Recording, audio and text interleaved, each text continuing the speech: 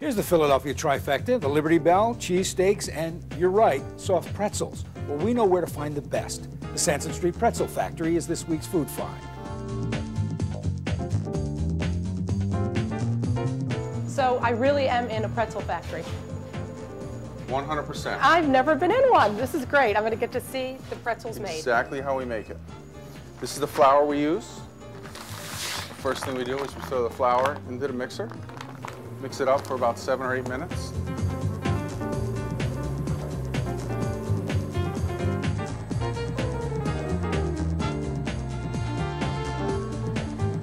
So here we go. Okay. You stand here, and I'll stand here. Okay. And I will learn from the master. Try. Oh, okay. Ready? Now grab a string. Now you're going to hold it open like this, Okay. and you're going to try to do a little loop. Hey, I wasn't looks- in Boy Scouts. It looks a lot harder than it is. Oh my goodness. Yes, it does. Grab it. All right. You're going to do a little flip. Almost. Almost like only that. counts in horseshoes and hand grenades, though, right? Okay. Nice and easy. And then, right? Fold it over. then- That's good. Now you have your knots. And then, Pick up your knots. and they go here. They go right there. Well, oh, wait a minute. I did it upside Wow. down, didn't I? I think you did a little bit too much twist action. Ah, too much. I didn't think there was such a thing as too much twist action. You ready? Okay, one. Easy. Let's do it in sync, right? That's good. You're and there. then I've got this, and Flip then it what? over. See, that's the part I'm There you go. forgetting. That step. Thank you. All right. Now, now lift from up here, the knots. small knots. See, it's an art, isn't it? That's all it is. It's, it's practice. easier said than done. That's all. Now, how long did it take you to get so good at this? It took me probably action? about seven or eight days, That's all. every day doing it for a You look hours like you've been doing it for uh, seven or eight years. When you fill up that tray, which you're going to do in about uh, three seconds, we're going to bake them. All right. Well, do you want to make the pretzel hot dog first? Well, Show you sure. how to do that? Sure, because that's what I want to eat.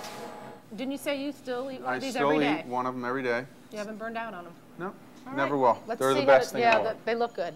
First thing we do, we're going to grab a string. Like the ones we made from the, The pretzels. exact same, same, ones that we okay. twisted with the pretzels.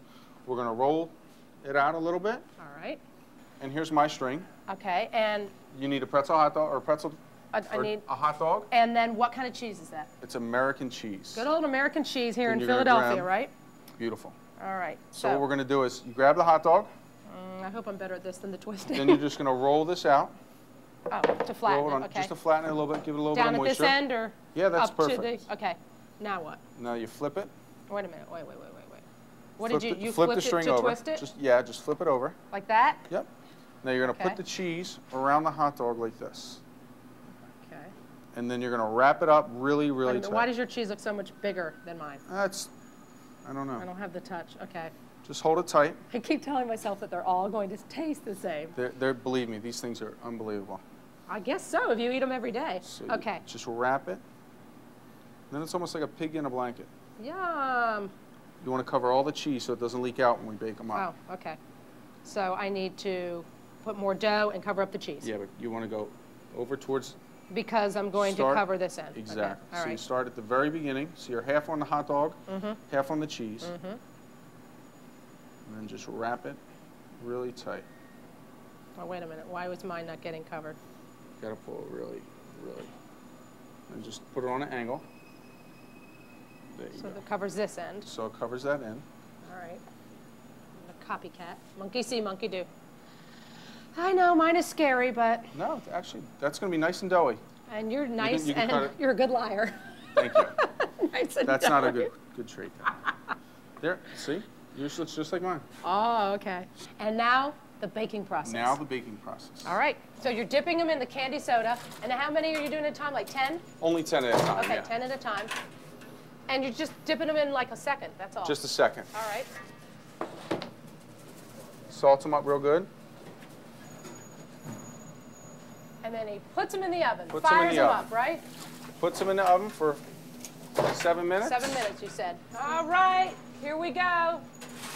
They're ready. Voila!